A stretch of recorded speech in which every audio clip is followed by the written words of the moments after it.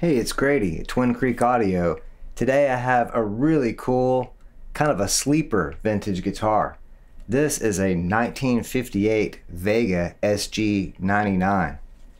This guitar was made by Vega in Boston in the late 50s and they were made through the early 60s at least, although I'm not sure of the exact dates.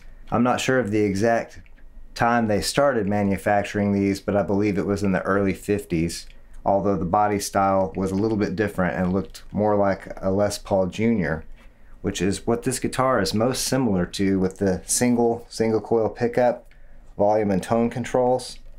It has a set neck, mahogany neck, nice mahogany neck. I believe the body is also mahogany. Doesn't feel like it's heavy enough to be maple. This one has some beautiful finish checking and as far as I can tell, this is all original. It's definitely the original single coil pickup. The Vega company existed in Boston, and I think they had two different factories. The original factory before roughly 1961, then they moved to the second factory. The company was most famous for their banjos, and Martin, CF Martin Company, actually bought the brand name Vega in 1970. Mainly bought that for the line of banjos that they made. And so a lot of the more recent Vegas that you see, banjos and such, are going to be imported guitars. This, however, is one of the original American made Vega solid body electric guitars from the 50s. I did a lot of research on this guitar because they're pretty rare. Not very many of these around. You can find them. Several people I talked to on the internet have owned these things or still own them. Some people say they used Franz pickups, they were made in Queens, New York, and that's what this could be, although some of the pictures of earlier SG99s made by Vega have a different pickup than this. The pickup looks like a P90, but it's not really a P90. On this pickup, the pole pieces themselves are the magnets instead of having a bar magnet. So this particular pickup looks like it could be closer to Fender designs from the 50s. It has a nice rosewood bridge compensated saddle there and this kind of unusual slotted tailpiece that I've also heard you see this on some of their steel guitar models from the 40s. And then they reappeared on the solid body guitars that Vega made in the 50s, so that's kind of interesting as well. This example has a lot of finish checking, but it just gives it a lot of character. It actually is in playable condition. The electronics all seem to work. It's a little bit noisy, as you'll see here in a minute when I demonstrate it, but not too bad. The playability is really good, even though it does have kind of skinny, small vintage frets. The neck doesn't need a reset. So it actually is very playable right now. All I really did to this guitar was clean it up and put new strings on it. It's even still the original tuners, and it is staying in tune very well for its age. I mean, this is a 60 plus year old guitar. And you've got nice low action. All the way up and down the neck is playable still. Weight, I don't have a scale here, but the weight I would say it's probably about seven pounds. So not too heavy, but not super light either. Take another look at the back of this.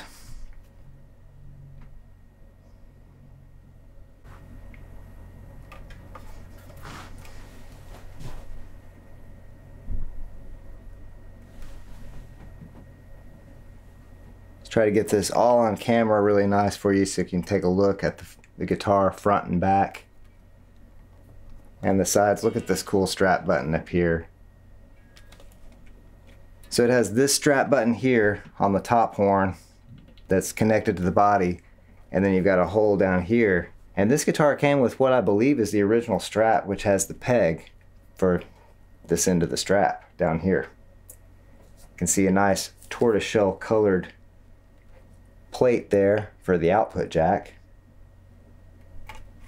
Pick guard is like clear lucite possibly, and it's painted with a gold metallic flake paint. And it has a sort of creme brulee finish on it. It's a sunburst finish, I think. It's obviously hand painted. The construction of this guitar is really cool, and the playability is absolutely excellent for the age and the wear and tear on this, it is a killer guitar. It plays and sounds awesome. I'm extremely impressed with this. These things are really uncommon. I mean, I'm not really sure what the production numbers of the solid body Vegas. You'll see the ho- the hollow body Vega guitars a lot more frequently than you do these solid bodies like this. So keep an eye out for those. Based on the quality of this guitar, I'd say any of these would be an excellent vintage guitar to buy. And now the moment you've all been waiting for. I'm going to go ahead and demonstrate this. I'm to hook it up and play it. This guitar seems to be really touch sensitive when running into the amp, so I'm running the Hotone Britwind Nano Legacy floor amp with kind of a medium gain because the output from this pickup is pretty low. But I set this thing where it's got a lot of sensitivity, a lot of touch sensitivity. So let's check out how it sounds.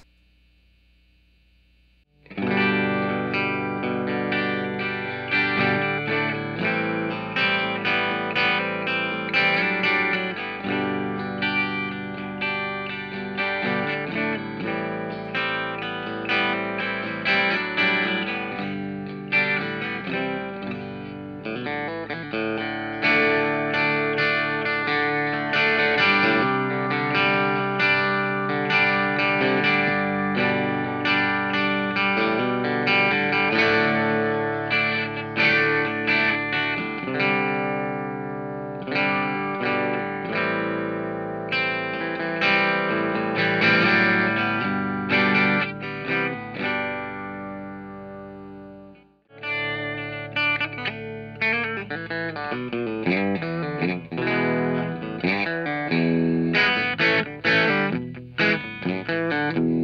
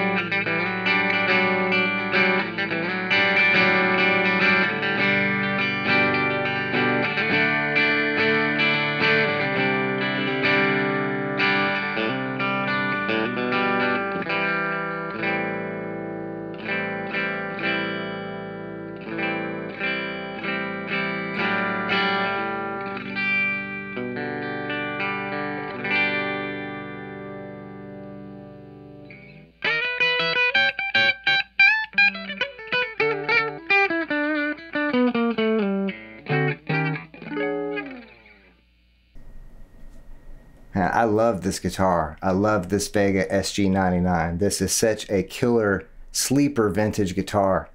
These are really rare and this thing is just exceptional as far as the tone and playability of something like this. I just love it. And of course, I love the history of it and I love the fact that it's broken in. This thing has a great vibe and it sounds killer and plays great. Well, I very much hope you enjoy getting to check out the vintage 1958 Vega SG99 electric solid body guitar. I very much appreciate everyone watching. Thanks so much to all the new subscribers. Please like this video and subscribe to the Twin Creek Audio YouTube channel if you have not done so already. And I hope each and every one of you out there has an excellent day, night, evening, weekend, weekday, hour, minute, second, nanosecond. Whatever it is you're having, have a good one. Thanks so much for watching.